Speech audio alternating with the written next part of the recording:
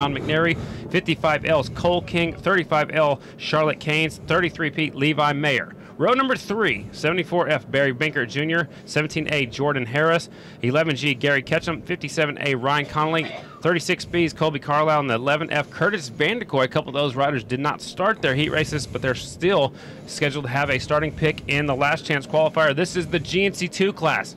It is six laps, top four, and that's it, Chris. Get with the program here. I'm telling you, these guys, uh, they all want to find themselves, get them another 12 laps of education around the Du Quoin Mile.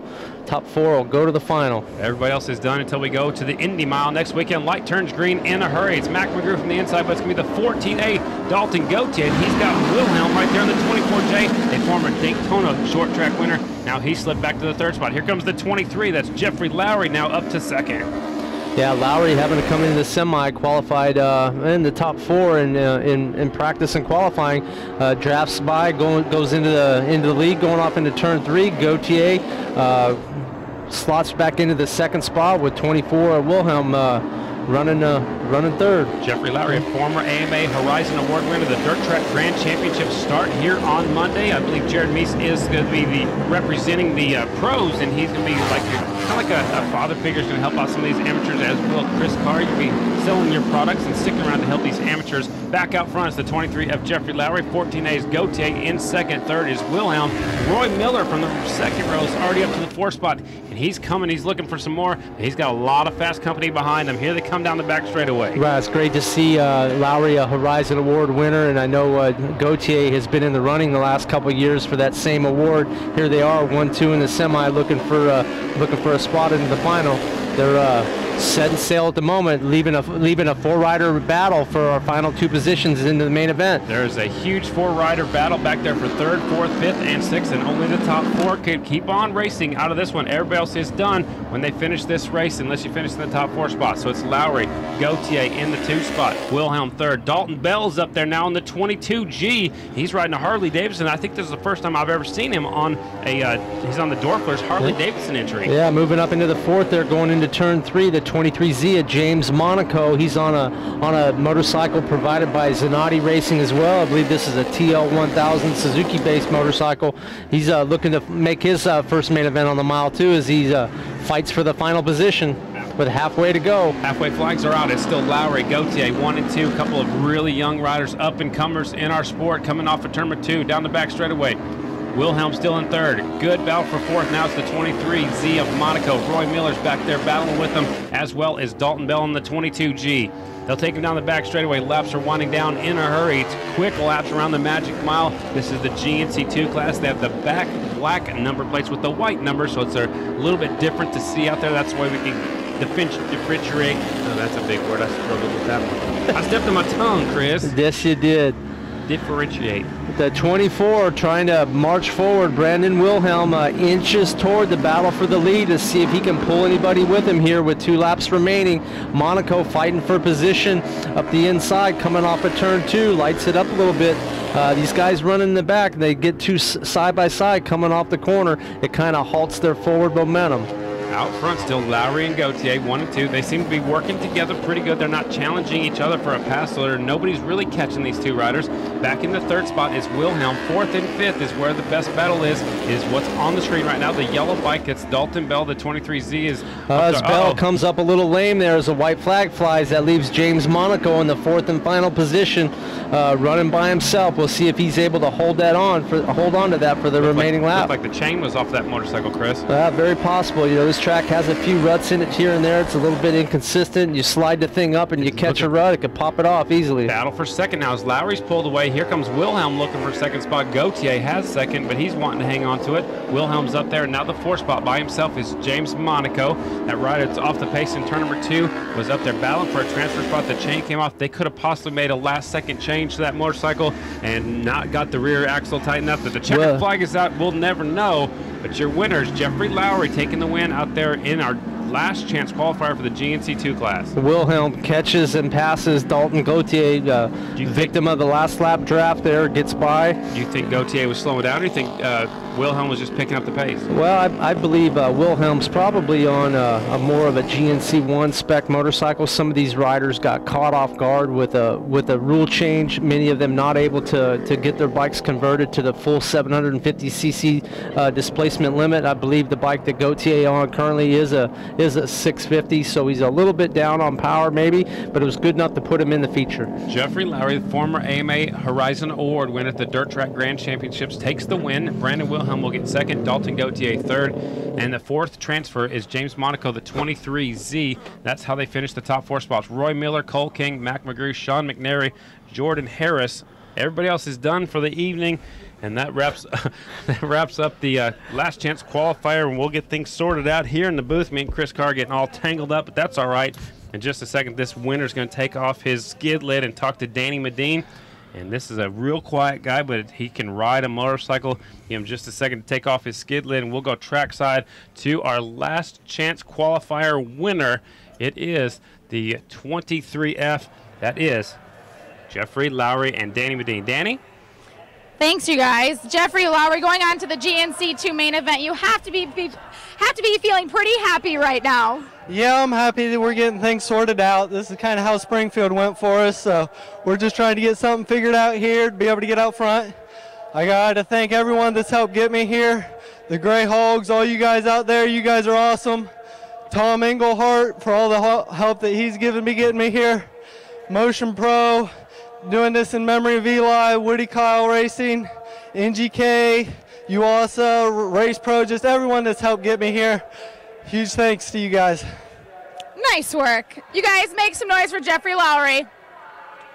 Scotty and Chris, back to you guys. Thanks a lot, Danny. Coming up, ladies and gentlemen, is usually one of the most exciting races of the evening. It's because it's six bikes and it is only four laps. I'm talking about the GNC One Dash for Cash. It is the Harley Davidson GNC One presented by Vance and Hines. So the bikes are down there in the staging area. I'm to go ahead and do the starting lineup before they come out. That way everybody can hear what's going on. On the pole, ladies and gentlemen, our fast heat race winner is the 59 of Willie McCoy from Keller, Texas. He's on the Harley Davidson of Wausau entry, Independence Harley Davidson. Starting second from Eatonville, Washington is the factory Harley Davidson of the number six, the Bullet, Brad Baker. Starting third, the Zanotti Racing Harley Davidson from Crystal, Michigan is the 17 of Henry Wiles fourth starter on the SBR Straight Arrow Trucking KTM 990 from Mechanicsburg, Pennsylvania, the 32 of Sean Bear.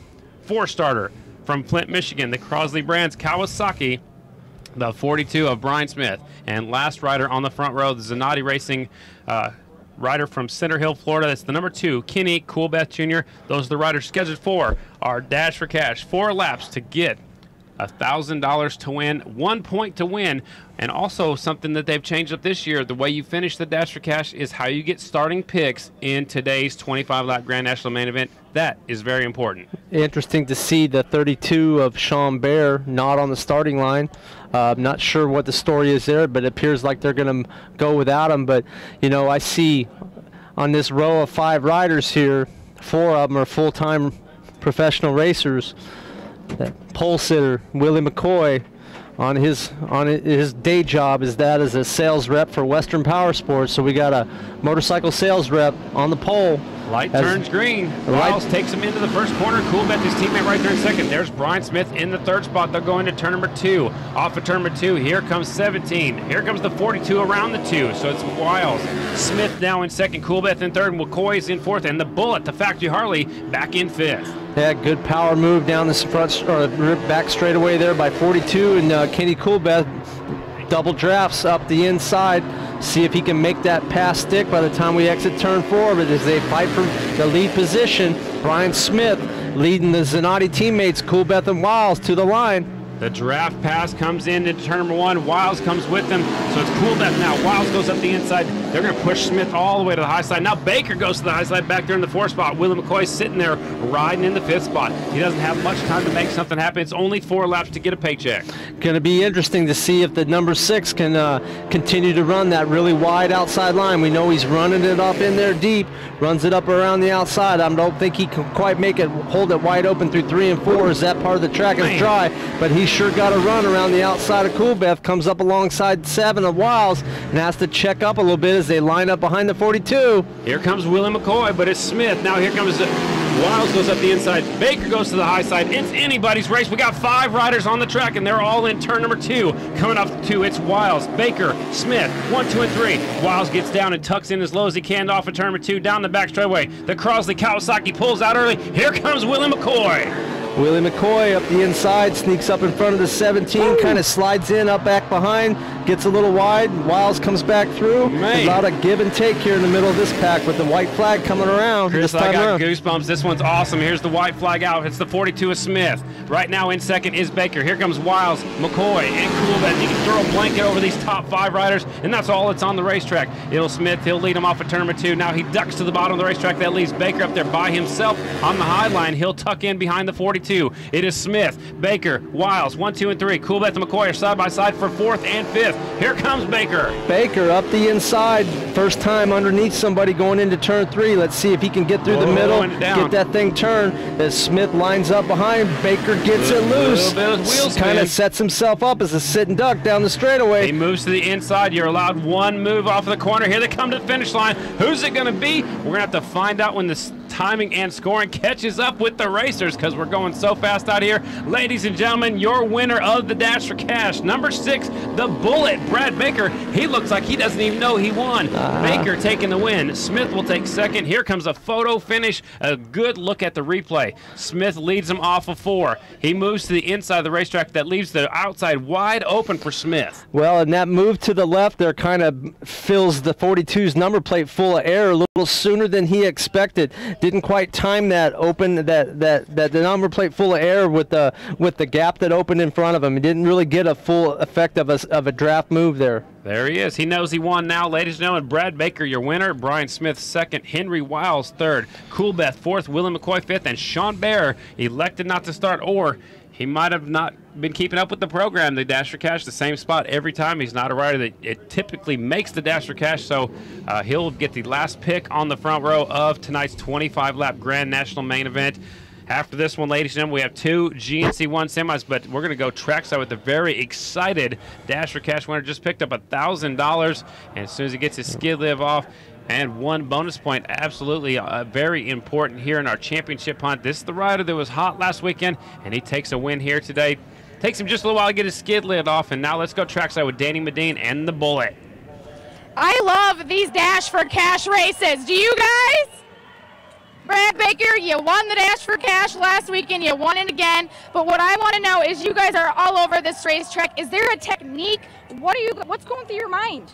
Uh, there's definitely a little bit of technique. I mean, you need to get the power to the ground as much as you can. And uh, track's really nice right now. It's a little inconsistent. You know, there's places where it's really hooked up and places where it's slick, and that makes it to where you, you got to be kind of regulate how hard you go in certain areas. Uh, didn't get a very good start. I uh, wheelied off the line and then missed a shift and had to come from the back and uh, had a little moment coming off before there. I was really trying to get a good drive and got pretty sideways, but uh, the Harley Davidson XR 750, factory team with uh, Vance and Hines and my whole crew behind me. Uh, you know, we brought her home for the win, and I feel like we got a good shot in the main, and I think they're gonna put a little more water on it. And uh, I was able to keep the thing uh, woed down in between three and four, where it's really slick. Uh, thanks to this guy over here, uh, mentoring me a little bit and just put a little bit of a, another trick to my uh, to the, my bag of tricks I already have already. So.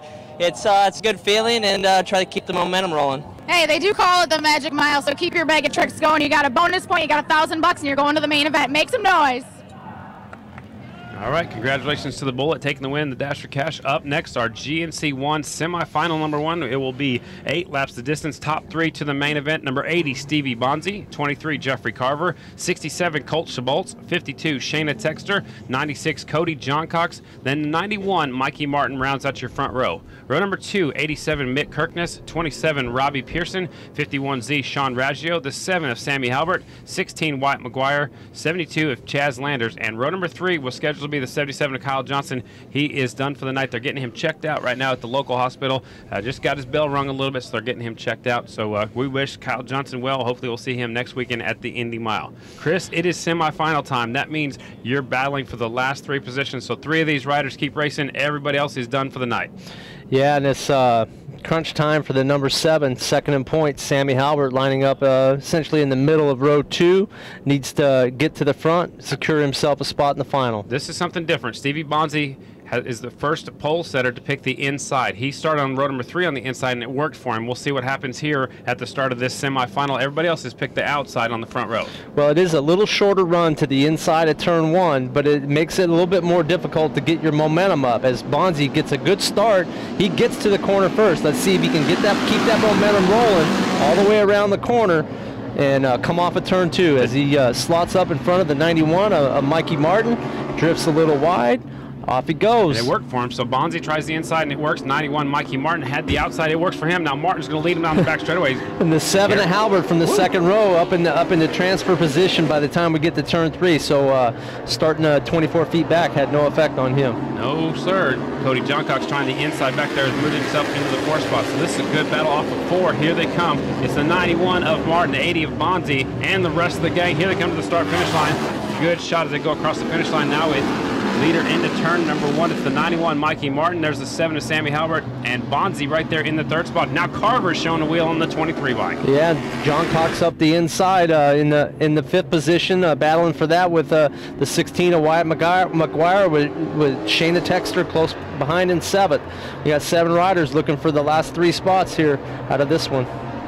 Off a turn at number two,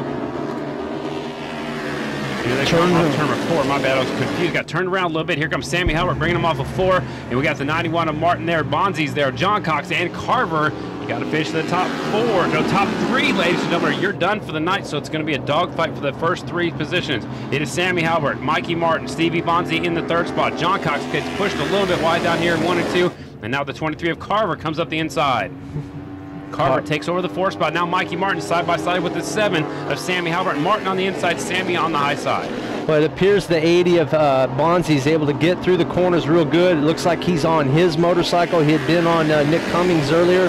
This one here is more or less a half mile motorcycle. It's not really a mile bike. He's going to need to do everything he can to get pulled around by the riders in front of him. As soon as somebody gets in front of him, it makes it a little bit more difficult for him to get by. He's got to pass them in the corners. For our new fans that don't understand what the difference between a half mile bike and a mile bike, the mile bikes you know, about built 10 a horsepower. different, got more horsepower for the long straightaways, correct? Yeah, they're certainly they're going to rev out more RPM. Uh, a half mile motor is going to be a little softer, a little bit more manageable, and it's going to be hard for Bonsey to get up in the back in the mix of this. Carver's found a new line going into three, takes over the number two spot. So Jeffrey Carver's the man on the mission. Remember, he came from deep in the field in Lima in the main event. Now he's coming up through the pack in this one. Sammy Halbert has a little bit of breathing room. Back to Carver. Mikey Martin in the in the third spot. Now Martin goes into second. Here comes Bonsey. He's trying to stay in the draft. We got Johncox looking at the inside on the 96 Harley Davidson.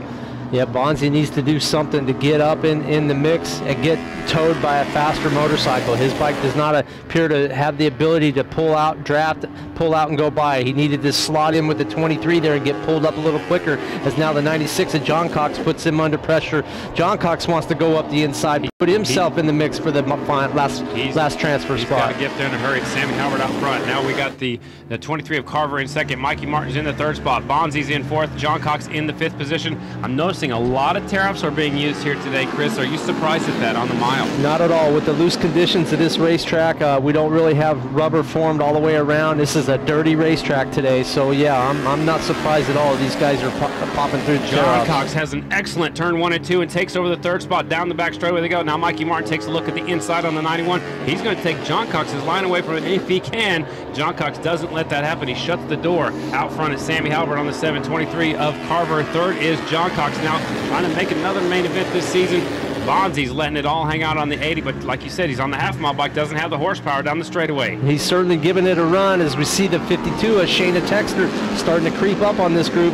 She's got about uh, two, little less than two laps to try and uh, bridge that gap to the third place position, maybe get the final transfer spot. Sammy Halbert's got about 10 bike links back to the 23 of Carver. Here's a good battle for third. John Cox, Bonsey, and Mikey Martin. That's oh, oh Bonsey, Bonsey goes in there and he gets into Johncox. They drift a little bit wide. Mikey Martin is right there just in case. And Shayna Texter. This is, might be something she needs. Is a race to the white flag. It's a race to the white flag. Bonsey's uh, doing every everything he can to hold on to the third position. Comes up a little short. Johncox moves on by.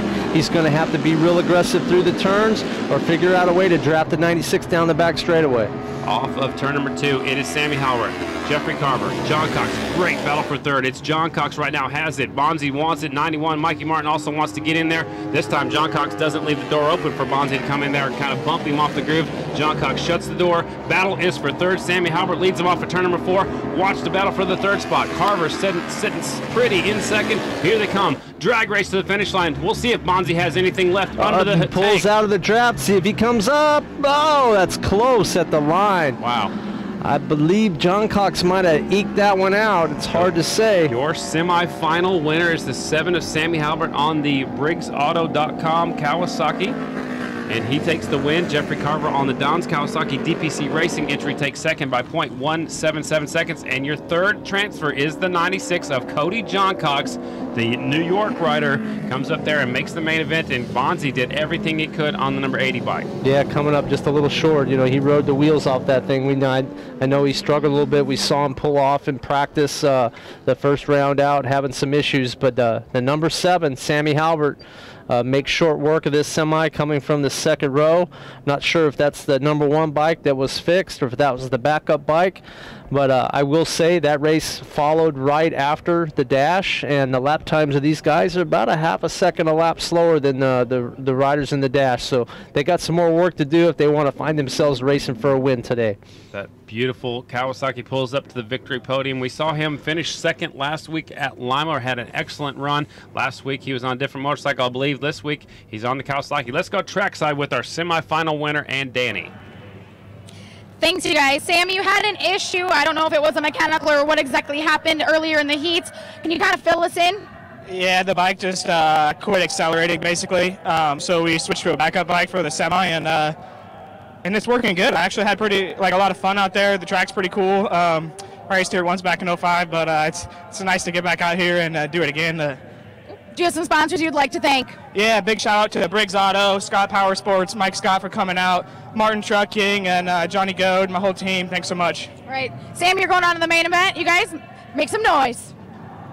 Congratulations. Scotty and Chris, to back to you guys. Thank you, Danny. We appreciate it. Good job down there on the podium. Our final qualifying race of the evening, ladies and gentlemen. It is our semi-final number two for the GNC2 class, and it will be the riders looking like this is the 98 Kel Kolkman, Ventura, California, 94K Jake Cunningham, 73 Dougie Fresh, that's Doug Lawrence from Mississauga, Ontario, Canada, 65 Corey Texter, 69G Danny Eslick, 23Y Ryan Foster, that is your front row. Row number two, the 50P Kurt Marmer, 28Ps Michael Bickerton, 21 Duke Erickson, the 10 of Johnny Lewis. See if he, remember, he had a mechanical issue in the first one. He's out there. And the 46 Aaron Linfors, the 90W also had a mechanical. I don't see him making the start. I believe he only has one motorcycle. And in row number three scheduled to be the 74 of Scooter Vernon.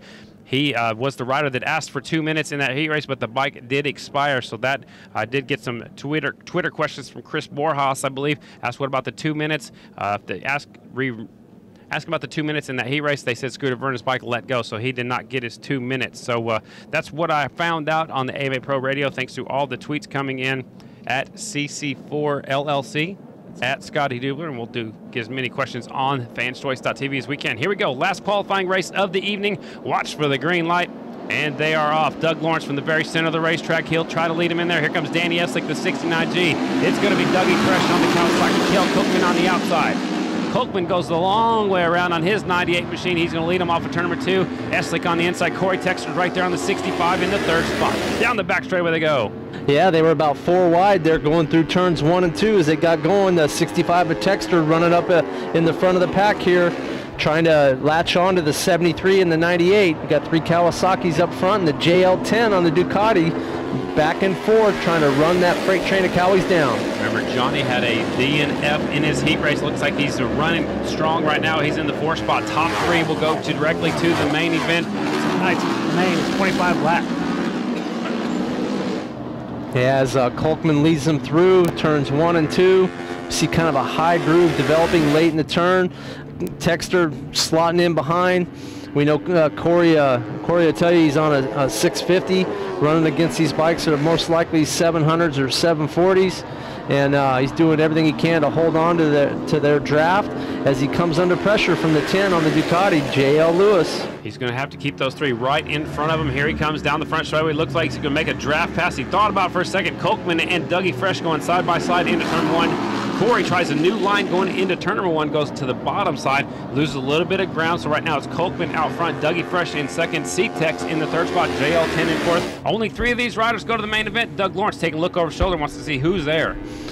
Yeah, Lawrence uh, want to see who he's got to play with, who's who may come by him in the draft as he swaps position again with the 98 of Kolkman as Johnny Lewis takes the Ducati, moves it up the inside into the third spot. Let's see if he has anything for these leaders. Doug Lawrence leads him off of four. Dougie Fresh on the 73. 98, Kel Kolkman, Ventura, California rider in second.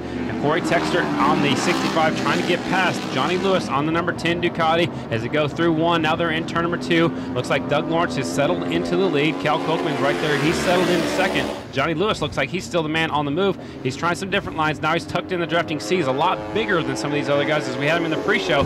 Kolkman takes a look up the inside. Lewis uh, got sucked into the draft there, had the uh, turn right and avoid the rear of the 98 going into turn three, but gets it squared up, trying to get a good drive up the inside off at turn four, but he's not really in position to, to pull on pull on the leader. Halfway flags are in the air of our last qualifying race of the evening. It is fresh out front. Johnny Lewis comes up there, takes the two spot away from Kel Kolkman. Now Corey Texter back and forth. So the top three go on. One of these riders isn't going to make it to the main event. Doug Lawrence pulls way to the inside off of turn two, trying to break the draft. Didn't work. Here comes Johnny Lewis up the inside looking for the lead. Yeah, this is the best uh, Doug Lawrence has looked on this Kawasaki. I know he's been a long time Harley rider. Uh, hasn't had much luck on the Cowie so far this year. Uh, looking real good. Strong, uh, strong run here in the semis. JL10 up front. Johnny Lewis leads them leads them by just with three to go. Johnny Lewis once again on the outside. Doug Lawrence looks at the inside says, well, I'll, I'll, try to follow Johnny Lewis and see where he's faster than me. And it looks like he's pulling away right there in the very center of the corner maybe. And now they're to take him off the two down the back chutes. Johnny Lewis, Doug Lawrence takes a look over his shoulder, wants to see how many people he has to beat. It's Lewis. Here comes Doug Lawrence up the inside. No, he chooses to back. You can see him back off a little bit. He wants to follow Johnny. And then third is Kel Kolkman. Fourth is Corey Texter. Well, we know the straight line speed of the Ducati is pretty stout, so sometimes it's best to let that let that faster motorcycle, if that's what you perceive, to pull you up to the to the finish line as he comes up a little short, but the momentum, even though he, he didn't beat him to the line, was Carried. able to slingshot by, and the momentum put him up in the lead. Carried him into the lead, into the corner. So Doug Lawrence is going to lead him off at two. Johnny Lewis in second. There is the 98 Kel Kolkman still in the third spot. So we got Kawasaki, Ducati Kawasaki, and Corey Texter also on Kawasaki. From there on back, it's Foster, Danny Eslick, Michael Bickerton, Jake Cunningham rounds out your top eight riders. Coming to the white flag this time by, it's JL10 out front. JL10, Johnny Lewis getting a good run off a turn, creates a little bit of separation. See if he can break the draft. See if the 73 and the 98 can work together and run him back down. But Johnny Lewis starting to look comfortable, uh, running lap times in the high 36s low 37s, but he's created some separation here through one and two on the last lap. We had him in the pre-show. Chrissy said the track was coming around to him every time he got out there. Now there's a lot more rubber down. That's uh, I think that's helping that Ducati get the horsepower hooked up to the dirt here at the Magic Mile. Johnny Lewis leads him into the last corner. White flag is out. Last corner, here they come. Johnny Lewis on the 10, Doug Lawrence on the 73, 98 of Kolkman. If they can keep them pointed the right direction, they'll be our transfers. Here they come to the checkered flag. Johnny Lewis takes a look down. Doug Lawrence on the 73 is not going to try to make the pass, and Kel Kolkman will take the third spot. Corey Texter and everybody else will be done for the evening as here comes the rest of the riders across the start finish line in our last chance qualifier, which is a GNC2 semi. So after this interview, ladies and gentlemen, this will be our second and final intermission break. Good time to pick up yourself that souvenir T-shirt. It's on sale out front. It's got a good picture of the man sitting behind me, beside me. That's Chris Carr, who won here back in 2005, 10 years ago. So that's it for qualifying. Johnny Lewis, JL10 on the factory Ducati team. He takes the win here in our last qualifying race of the evening. Again, up next will be our final intermission, followed by our GNC 2 main event, and then a short break, and then our GNC 1 main event. So, two races left, ladies and gentlemen. Your winner is head on the front straightaway down the victory podium. It is Johnny Lewis, who we talked to earlier in the pre show, right here at the Du Quoin Magic Mile, picking up the victory. He's building up some momentum, and he's headed to the victory podium. And Danny Medine's going to talk to him here in just a second. I'm sure that feels good. Uh, you Good know, looking uh, scrambler. looking scrambler. I'm sure that feels good. Uh, having some issues early on, be able to come through the semi and uh, and win in dominating fashion. Yeah, he started at the back, and something happened to him in the heat race. Let's go trackside with Danny Medine. He's caught up with our semi winner. Danny? Johnny Lewis, you're pushing that Ducati from the back of the pack up to the front. Take us through that race. Yeah, we uh, unfortunately had a uh, something go wrong with the back cylinder of the other bike, so we jumped on the other girl and uh, took her from the back row, and with pretty much no practice on it. And uh, you know, I only got two laps in the heat race too, so I was basically learning a brand new track because the track's completely better. It's a lot better from practice qualifying. So, uh, you know, hats off to the team. We uh, the bikes are different, so we switched out a couple different things and got a good working motorcycle for the main event. Now, there's been a lot of lead changes in every single heat race that we've seen. What does it take to keep that lead out here? Yeah, you know, for me, it's going to be working up through the pack, um, you know, and just getting to those groups to be able to work the draft and get to the next group. Know, hopefully nobody breaks away. I don't think they will too much. Um, you know, I was able to get a pretty good start from the second row, I'm in the third row, but we made it work pretty good at uh, Lima last weekend. So I'll just see what we can do here. Now, you have a great team behind you. Who would you like to thank? Yeah, the whole uh, Lloyd Brothers Ducati. Uh, it's a Scrambler themed motorcycle, so it's, it's got the whole Scrambler theme, and uh, you know the bikes are selling great. So it's uh, you know if you ever ch- haven't seen the bike yet, it's got the same color scheme, but it's uh, it's a street version. So it's it's a neat motorcycle, and uh, you know the whole everybody else that supports the team. It's been great. Well, nice work out there, Johnny. And you guys, the best races of the night are coming up soon, so don't move. You were great. All right, so that is it, ladies and gentlemen. With all of our qualifying, all the main events, the two main events have been set up. So we're going to take a short break. It's a good time to stretch your legs, grab yourself something to eat, something to drink. Don't forget to stop by the official souvenir trailer that's located out front. It's the big red trailer. Pick up your official Du Quoin Mile T-shirt. Also stop by and see Vance and Hines. There's several other booths out there. Also, the Class of 79 and friends should be drawing for their 50-50 ticket here soon. Last time I heard, the winning ticket or the, the amount was $1,231. That means your winner is going to get over $600 here tonight. So we'll take a short break, take care of some things here in the booth, and we'll be back with our GNC2 main event in about 10 minutes. Yeah, 10 Training, it's a motorcycle riding camp. Um, what I put together this week was a three-day riding school um, for kids and ended up being about 9 to 17 years old in kind of preparation for the, uh, the 2015 uh, Amateur Grand National Championships, which is held July 6th to the 10th in Du Quoin, Illinois. There's a big range there, so it's, you know, if you're taking a nine-year-old in classroom and a 17 in classroom, it, it's totally different subjects. But motorcycle riding, it brings everybody together.